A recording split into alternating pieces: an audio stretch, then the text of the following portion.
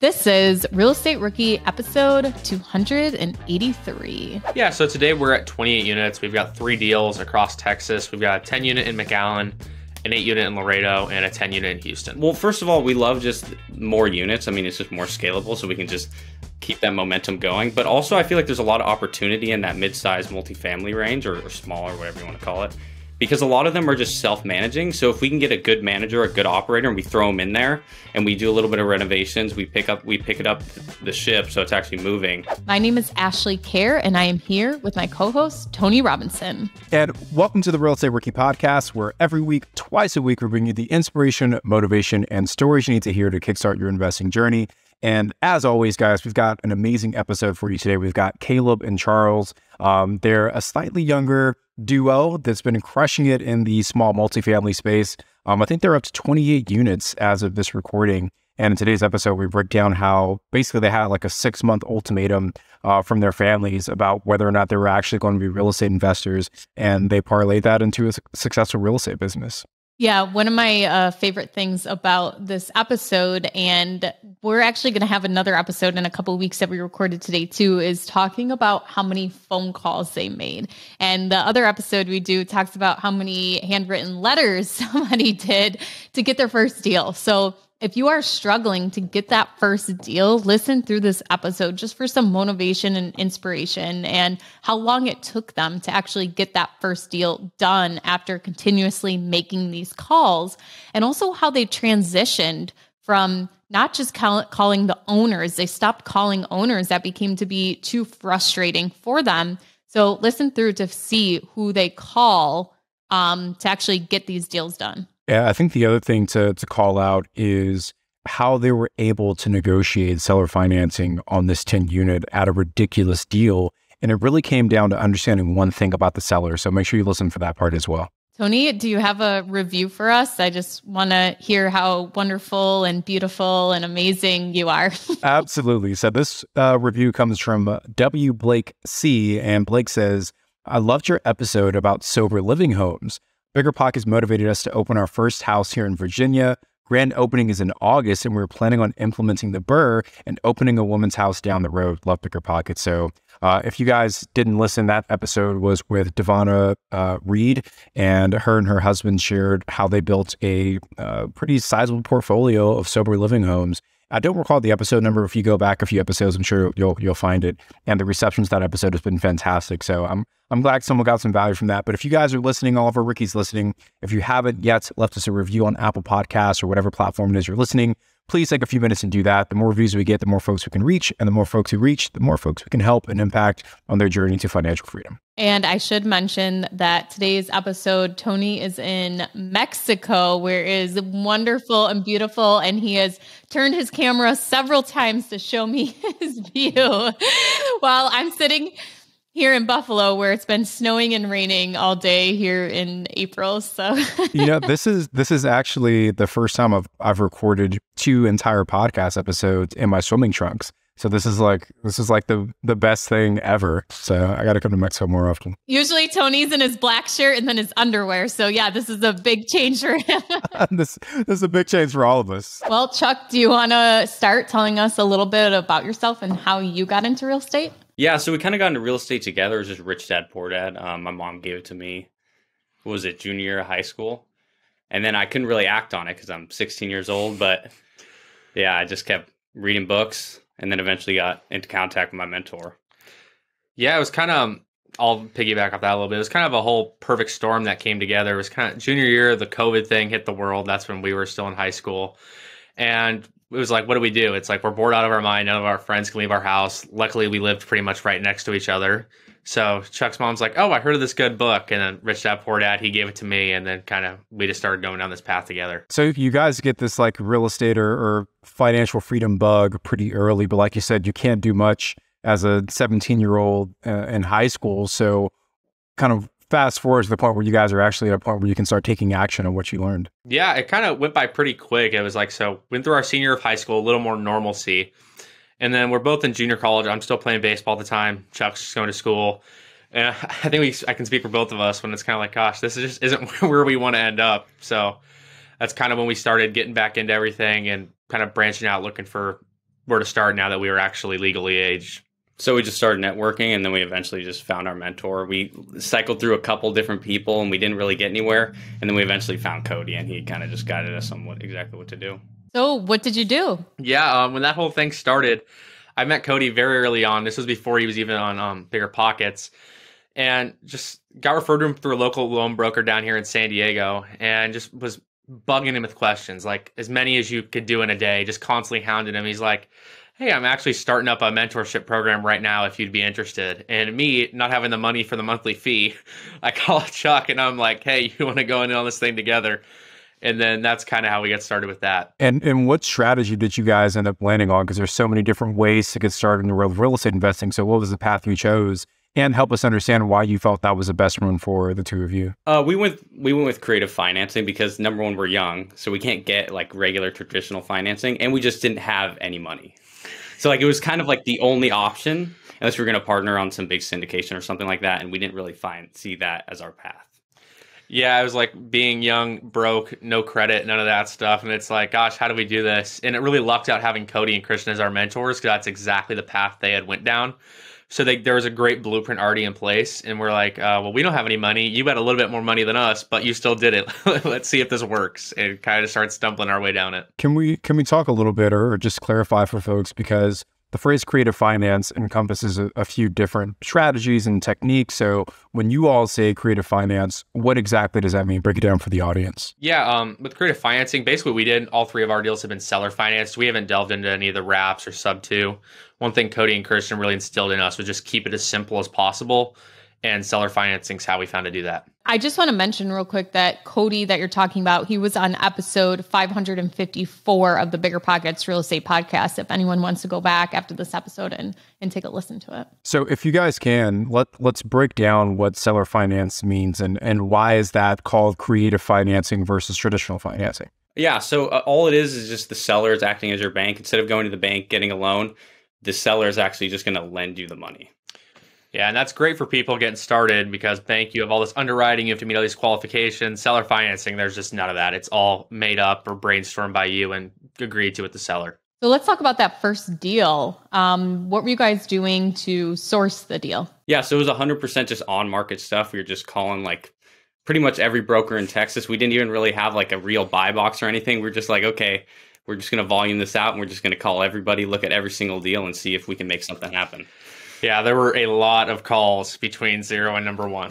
So was this when you guys were still in high school at this point in time, or where? What were you guys doing at this point of time in your lives? Yeah, at this point, so we had gone through um, junior college. We met Cody, and then Cody joining Cody gave us the confidence to drop out of school.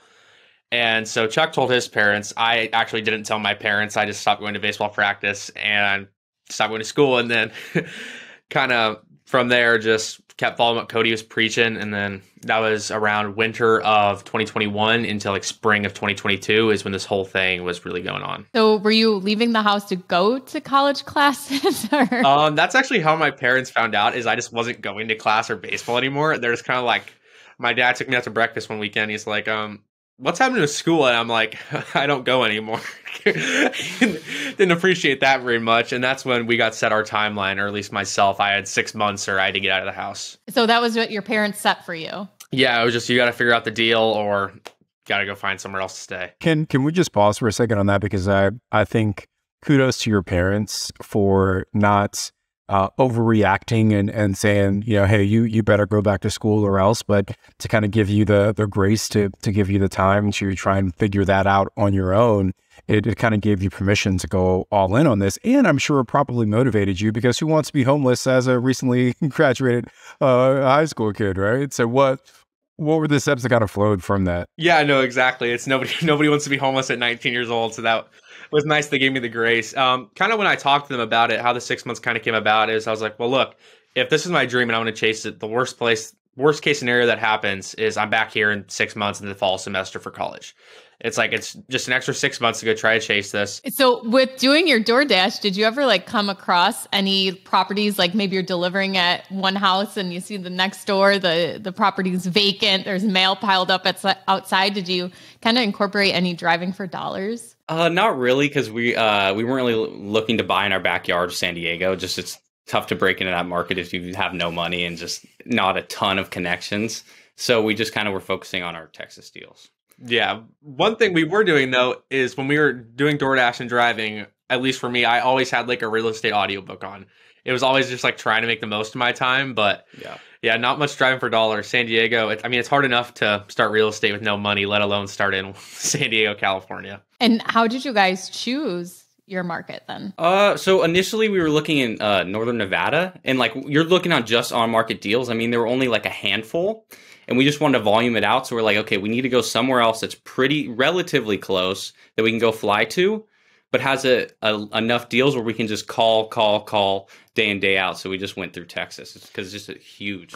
Yeah. market. It eventually, um, piggybacking off what Chuck said, it eventually came down to, well, we're either going to do Texas or Florida. And kind of the logic was Texas is halfway closer across the country than Florida. So we're going to try here first and see what happens. How many, you mentioned that there were a lot of phone calls. Uh, roughly how many people did you have to call in Texas before you actually got a deal that turned into something? Yeah, that's a great question. Um, gosh, amount of brokers, it was probably around 500 to 1,000 phone calls, somewhere in there. Can we break down? So you, you mentioned that you had a, a script. What what exactly were you saying when people picked up the phone to pitch them on the seller finance? Was it the first thing that came out of your mouth, like, "Hey, will you seller finance this deal?" And it's like a quick yes or no, or were you trying to understand their situation, their motivation? What what did that conversation typically flow like? Yeah, so I was um, doing the majority of the calls, and they were mainly to brokers. Just we had we had had bad luck with owners. We tried them a little bit, but it was kind of got shut down pretty quick. So we're like, gosh, and we actually went out to Texas to meet with an owner. Had five meetings scheduled, four of them canceled. So we're kind of like, yeah, this isn't going to make much sense when we're saving every penny like to have for this, and then get kind of screwed over last second. So what we ended up doing it was just calling brokers, and the first thing was just making sure the deal was still available. Just because if it's not, it's like it's a waste of five minutes of their time and my time. And then we knew like which areas in Texas we liked. We'd look up population growth to obviously see how the area is, but neighborhood to neighborhood, we weren't too sure. So I wanted to go find out about that, find out the neighborhood in the area.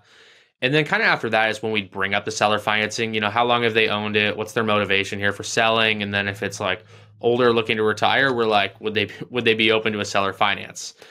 And most of the time it was no, but eventually we landed on a few yeses. Can you talk about some of the advantages for the seller to do seller financing? And do you ever work that into your pitch? Um, so that's not really a big focus of ours because we're just talking straight to the broker. So the broker is communicating with the seller.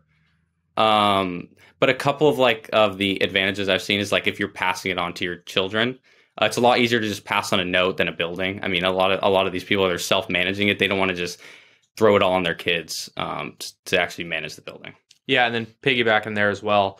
I think a huge advantage is being able to give the price that they might be looking for. Sometimes with conventional financing, currently the building just isn't worth X, but seller financing, you're like, okay, I know it's worth blank day one. And I know I can get the rents up to this, get the expenses down, so the building will be worth enough. But just day one, it's not. So there's a lot more room for creativity and getting sellers what they're looking for. We just uh, had Pace Morby on on episode 280 where he talked about seller financing. And that was kind of exactly one of the things that he had said too is that the purchase price is sometimes just what's important to the seller. And with doing seller financing, you're able to get there too. Yeah, I think everybody's motivation is different, but a lot of these people, they just have a purchase price set in their mind, especially in the market today. It's like they just have that one purchase price they're looking for and they're not going to move off it. So with seller financing, sometimes that's the only way to get it done. One one question I want to go back to, you guys, is you talked about 500 to possibly a thousand calls you had to make. O- over what time frame was that? How long did it take for you guys to get those 1,000 calls before that first deal came through? Uh, it took about five months for us to get actually get a deal under contract. I mean, it's, t- it's just a long time of doing it day in and day out. Yeah. So to go through that process, a thousand calls, five months, a lot of people I think would have given up after 90 days of, of some even after like a week of just kind of banging your head against the wall. So what was the motivation for you? That's a lot of rejection. What was the motivation for you guys to keep pushing until you found that first yes? Yeah, I think one of the big ones is just knowing it was possible. Like if we hadn't met Cody or doing this on our own, we're like, gosh, maybe this thing just isn't real. Like maybe you just can't do it. But having met Cody and Christian and seeing that they had actually done this and made it happen, it was like, okay, we know this is possible. It's just we got to figure out how to find the right deal. But that was a big one. And also it was just our dream. It was like since we were 16 years old, we had been looking to buy real estate and we're like, we're not just going to give up now. We're going to ride this thing out, see if we can make something happen. Okay, so let's talk a little bit about your guys' partnership going into this. So you guys read Rich Dad Poor Dad together.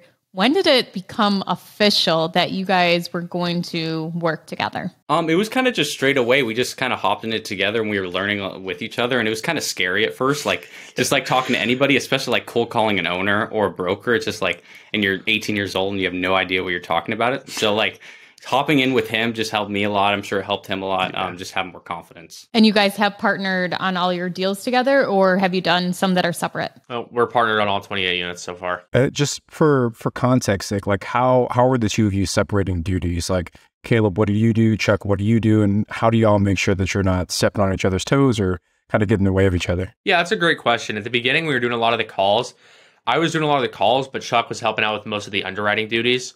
So it's like I'd find the deal, be like, "Hey, got a deal. Look at this." Like send it over to him. Then we'd kind of get together, congregate on it. Like, "Hey, this is what we're thinking. Could this work?"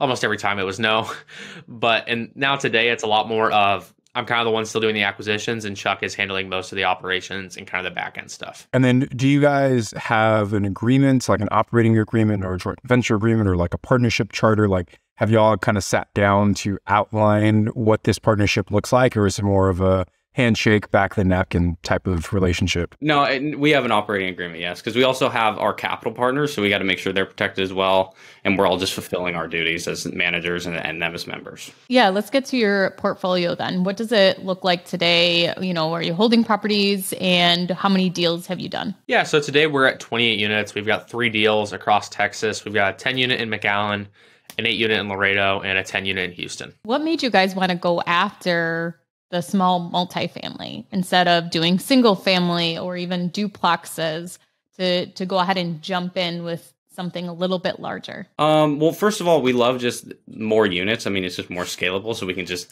keep that momentum going. But also, I feel like there's a lot of opportunity in that mid-size multifamily range or, or smaller, whatever you want to call it, because a lot of them are just self-managing. So if we can get a good manager, a good operator, and we throw them in there, and we do a little bit of renovations, we pick up we pick it up the ship, so it's actually moving.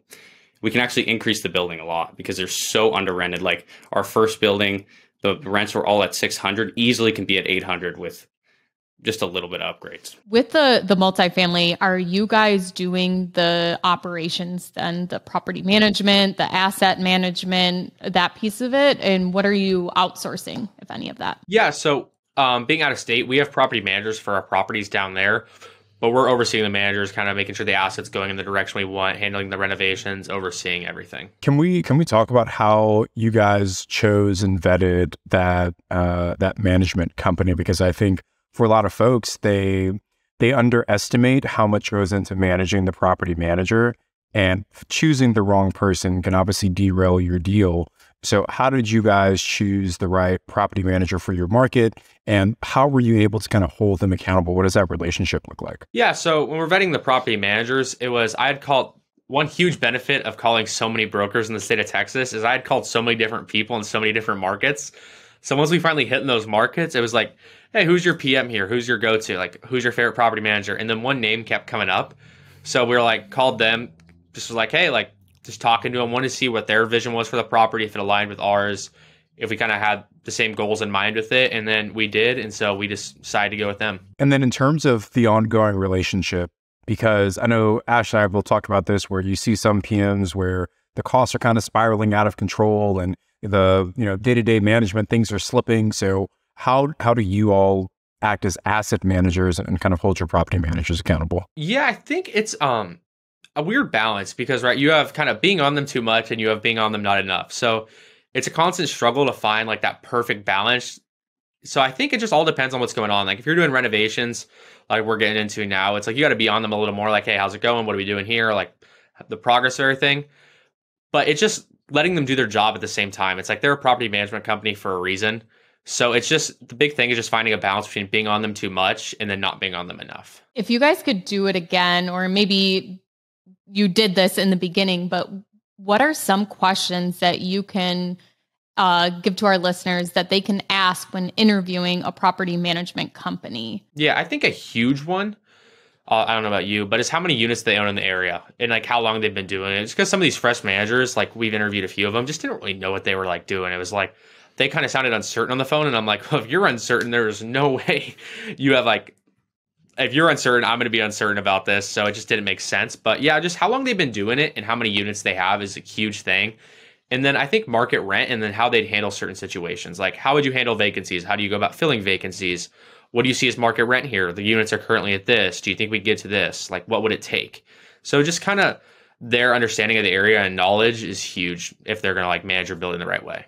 I I do agree with you that I think there have been a lot of startup property managers the last several years of people just thinking that you know here's an opportunity i've got a couple units myself i might as well share the overhead i can manage these units great and then go on and it ends up not really working out that well or i've also seen where they do start and then they grow too fast where they don't have you know the processes and systems in place to to kind of handle that many units and that's where it, it kind of starts to hurt them yeah, no, I definitely agree. We have um three managers because we're in three different cities in Texas. So the same process for all three. Is like each city we came across some people like got a recommendation. They were really fresh in the game. It's like had barely any units under management, like not even in the area we were looking in that city. And it's like, oh, I think we're gonna go a different direction here. So I 100% agree. It's about finding one that's established, has been in business, and has a clear plan for your building. And what do you think about fees? Are you willing to pay a little bit more for the property management fee um, instead of going with somebody who's cheaper, even if they are more green? Yeah, this is something you can't skimp on. Property management is almost everything when you're going out of state investing. So you need to make sure you find the right one. And on the note of fees, I just also want to talk about like uh, again, just just kind of what that relationship looks like. So when when your property management company is is solving problems on a day to day basis at what point do you require that they communicate with you? Is there a dollar threshold? Is there a certain, I don't know, like impact level that you're looking for? Like, how do you kind of make sure that you, like, as you said, Caleb, that you're not over managing, but you're, you're not under managing either? Yeah, usually it's, um, unless it's like a little fix in the building, it's like, just go ahead and get it done. But if it's like an AC unit or something like that of that nature, kind of on that level is when I'd like to start to be notified, like, hey, this tenant's AC went out, we need to get a repair. Like, okay, let's get on that but kind of at that level and up is probably when I'd like to be notified. Yeah, I know what I did when we had our, our long terms. We had a, a, specific dollar amount in our property management agreement that said anything under this dollar amount, don't talk to me about it, handle it on your own. Anything above this dollar amount is is where I need to be involved to give the final say. And actually, I think you have a, like a very similar thing in all of your property management agreements as well, right? Yeah, it's a, a dollar amount and then the appliances, which has been a big issue for me. Do not ask me to replace an appliance. Please just replace it. Like, what am I going to say? No, the fridge isn't working. Um, let me think about it for a couple days and I'll get back to you. Like, no, don't even ask me. Just take care of it. But uh, I, I want to ask about the rehab process too with using the property management company. You said that, you know, they kind of oversee it and you have to, you know, keep on top of them for that what are their roles that they're doing for you during the rehab process? And then what are your responsibilities? Are you kind of designing the rehab? Are you the one hiring the contractors? Are the managers doing it? And what does that whole process look like? Yeah, the main thing so far has kind of been they kind of hook us up with their contractors in the area that they've been in business with for a while. Then that contractor gets me a quote and they kind of oversee the work as that contractor goes about it and it's all different. Like one of our PMs, the one in Houston's like, hey, we got this. Like they're asking for this on the floor. If we can get this done, we can get it rented out for X by the end of the month. It's like, okay, let's go ahead and do it. The other ones is kind of going more through the contractor because they don't have them in house. So each one's different, but it's kind of just making sure we oversee it and that they stay on top of the contractors as well. And we work with great property managers, so they're really good at assessing like what we need and what we don't need. So so usually it's pretty tight and we can get the best ROI for our money on the renovations. Yep. And then are they charging you like a project management fee on top of your regular management fee at all? Um not so far no. They've kind of just been hey like our contractor's doing this and then that's the company that outsources it. He's really close to them and the other company just has it in house so that's actually pretty solid, right? Because a, a, lot of property management companies they make more revenue by upcharging things like repairs and maintenance and managing construction projects. In fact, they're giving it to you just kind of on the house. You know, it's a good property management company. No, it's awesome. Have great relationships with them. So I, I want to deep dive uh, one deal. So do y'all have maybe one deal in mind that we can talk through the numbers on? Okay, yeah. Yeah, um, well, our Houston tenplex. Okay, let's talk about the Houston tenplex. I'm going to shoot you some questions. Just give me some rapid fire questions. We'll we'll set the table. We'll go back and kind of uh, deep dive from there. So first, what was the uh, the purchase price on this property? It was seven hundred and twenty five thousand. Seven twenty five, and you said this was a tenplex. Yep. Man, that's awesome. You guys are crushing it. Um, and did you find this property on market, off market? Uh, off market from a broker relationship I'd built. And then how did you fund this property? Uh, we just brought in an equity partner, so they they own half the deal, we own half of the deal, and we just split the cash flow. So first, before we even like go into the deal, what you just said, um, where you you found the deal, uh, you kind of put the whole thing together, and you brought in a partner to pretty much carry all of the financial uh, like burden for the deal, and then you split everything 50 50 I've done that countless times in our business. And the majority of the properties in my portfolio today, we purchased without using any of our own capital, but it's because we found the deal, we did the work, we set it up, we manage it long term.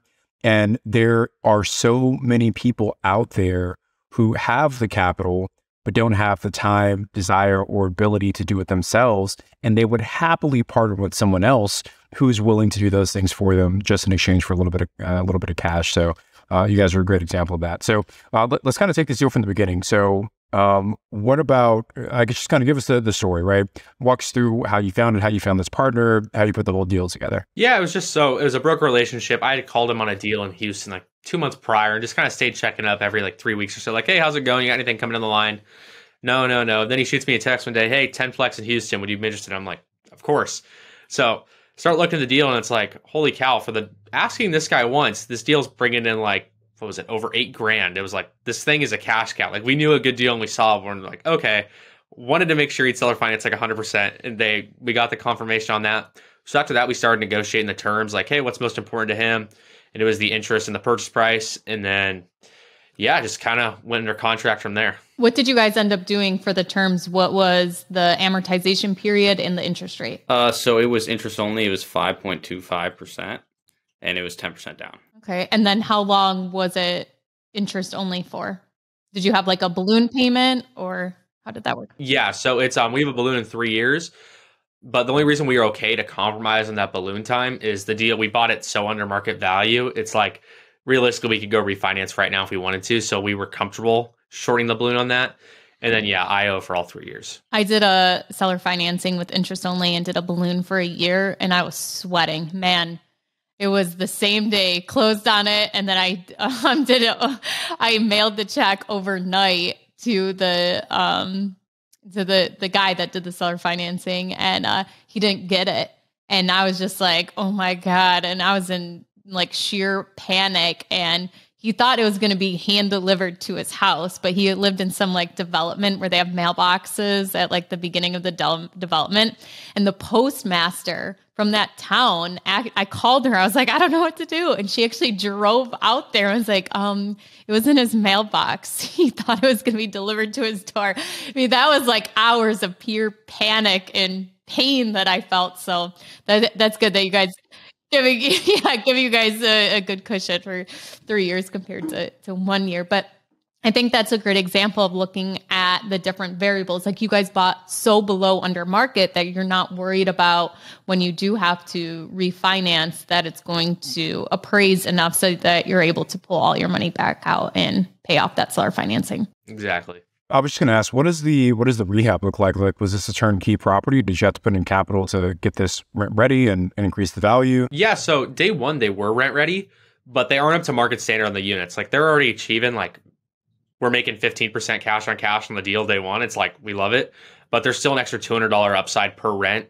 or per unit in rent. So it's like we just go in whenever they leave the lease, we just go in, renovate it, get an extra 200 to 250 on the rent. And what's the potential or projected cost per unit to get them, you know, that additional $200 in, in uh, rent? Uh, it's just usually about three grand. It's super simple, uh, Reno. It's that one company we were talking about before. Um, yeah, they have in-house contractors yeah. just handle everything. Like, hey, this person's leaving. Let's go ahead and get this done. They give me over the quote. It's like, okay, let's get it going. What was one lesson that you guys learned on this deal? I think the biggest one is everybody's motivation's different. Like with sellers, like some sellers are just like, hey, I need this price, blah, blah, blah. Like, or they want a large down payment, or they want a lot of interest. This guy was like, hey, I just don't want to manage it anymore. Like, can we please just like come to an agreement? Like he was, he wanted to keep it off market. He didn't want his tenants knowing he was selling the building because he had built such a great relationship with his tenants that he didn't want to let them know and damage that relationship and have them all leave. So it was completely off market. They didn't know. And a big motivation for him was not upsetting those tenants either. We talk a lot about estoppel agreements and sending those out to tenants before you take over to kind of verify the lease information, or especially if there isn't a lease with what the, the property owner is saying. Were you guys able to do those, or were you not able to since the owner didn't want the tenants knowing they were going to sell? Um, we did something else. I think what is it called, an affidavit or something along those lines. I can't remember exactly what it's called, but it's basically he signs off on it himself, and if it, they were to be incorrect, then we can uh, go after him legally.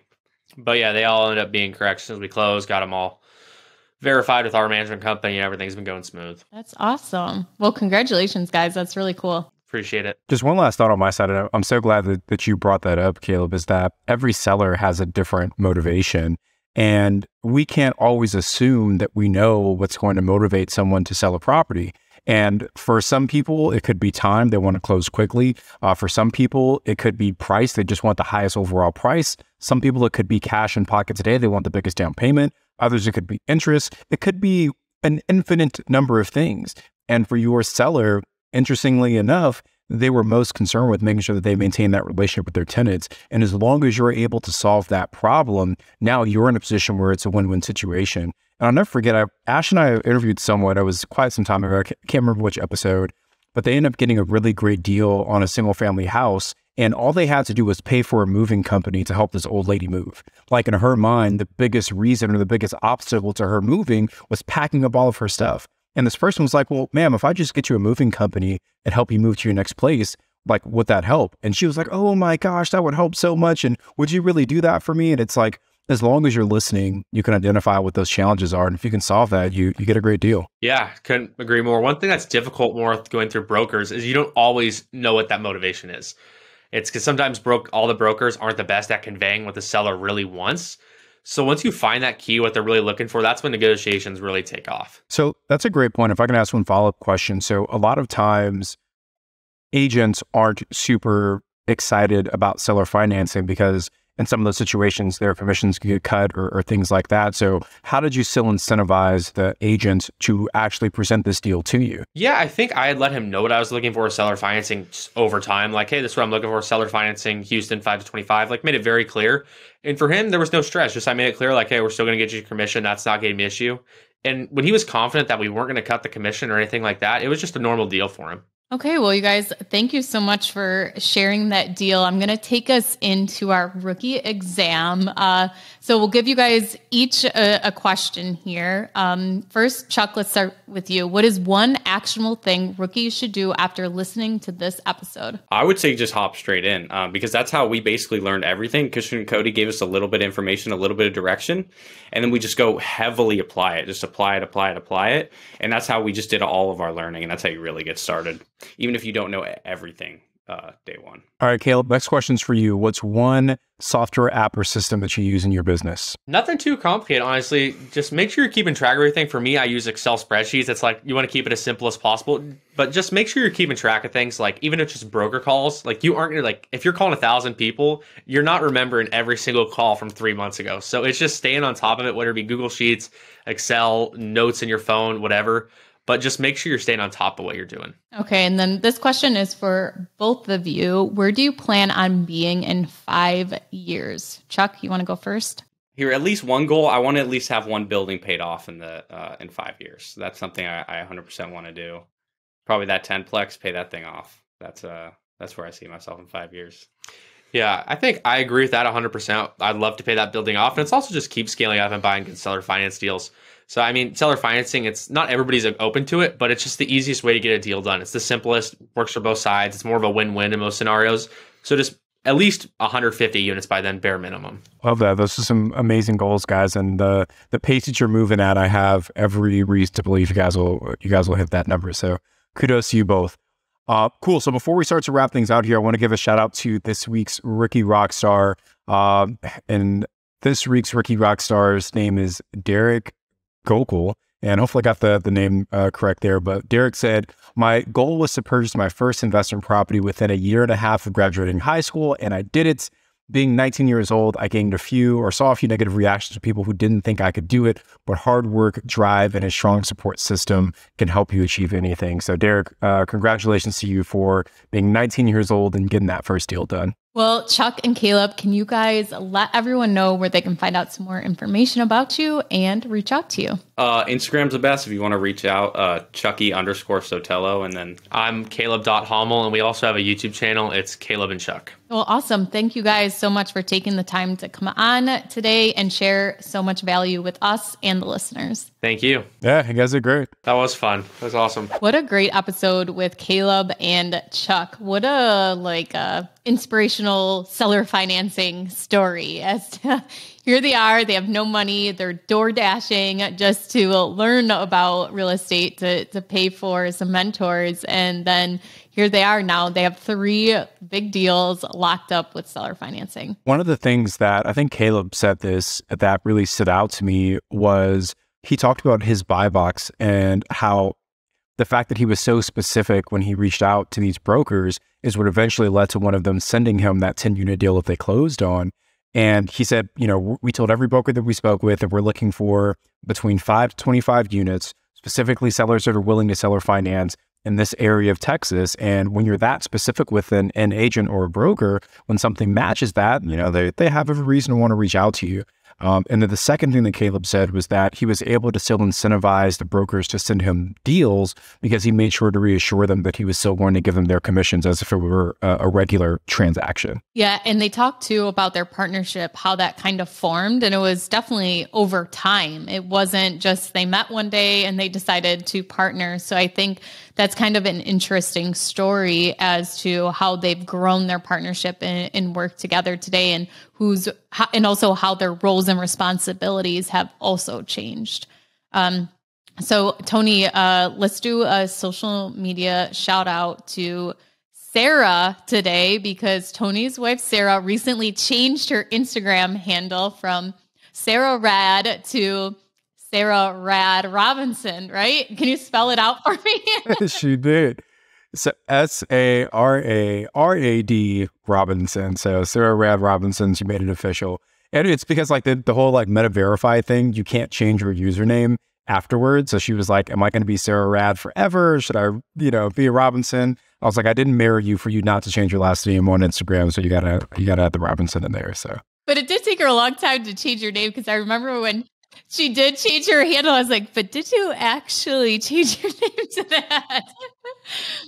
but Sarah puts out a lot of great content, but um, unlike Tony, it's not just great content. There's also very funny reels that she posts that are real estate related. So you should give her a follow. Yeah, and actually, Sarah posted yesterday, Yeah. and I don't know if I shared this on the podcast yet, but Sarah is uh, officially four months pregnant right now. So uh, she posted on her Instagram yesterday, and we kind of shared it with the world. So um, come October, baby Robinson will will be here. Yes, and so excited for both of you. Um, I, I'm really excited for a little tiny baby co-host to be a part of this podcast. So, guys, if you haven't already, go uh, wish Tony and Sarah congratulations on their Instagram account, and maybe we'll get some baby love time here on the the podcast episode a couple times. So, thank you, appreciate it.